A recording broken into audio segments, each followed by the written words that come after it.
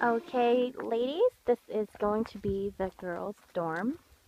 Um, it is, I don't remember how many rooms we have, but it's called the Angel Dorms. So we're going to sleep with the angels, rise with the saints, they say. Um, here we go. I wonder where's the light switch. The light switch is already on. Oh, it's on now. Perfect. So we have the luxury of a mirror.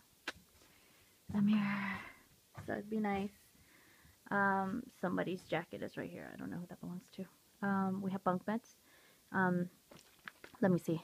So if it's 1, 2, 3, 4, 5, 6, 7, 8, 8 times 2, 8 times 4, oh, 8 times 2, 16, 16 times 2, 32. So 32 beds right here.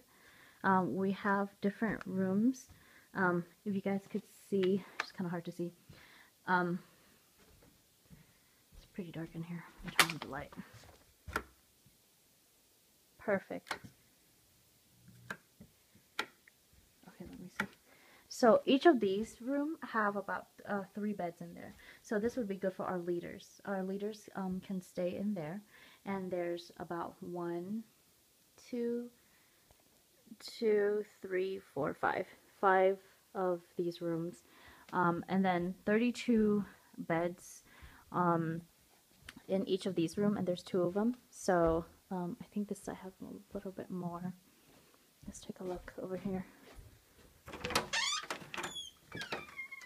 No, I think it's actually the same. Whoops, sorry.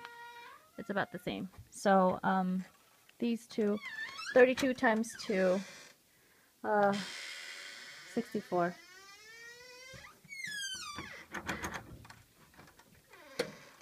I wonder if I'm supposed to close it.